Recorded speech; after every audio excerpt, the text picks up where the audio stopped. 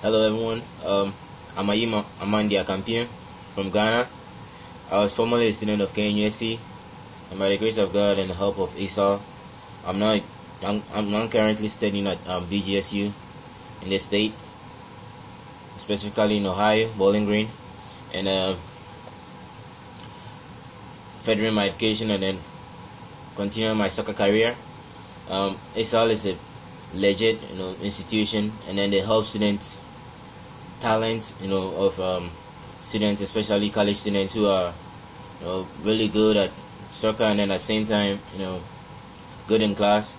They help them, you know, study abroad, and it's true, it's true their help that um, I'm in BGSU now, and uh, I want to say thank you to, you know, them and.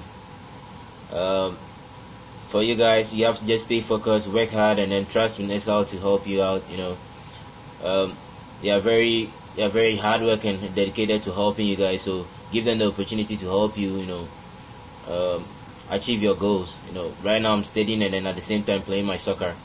So I have you know two two backups. You know to rely on, and honestly speaking, you know facilities here, everything here is better than you know in Ghana. So all I'll say is you know trust in ASAL to help you you know further education outside. Thank you.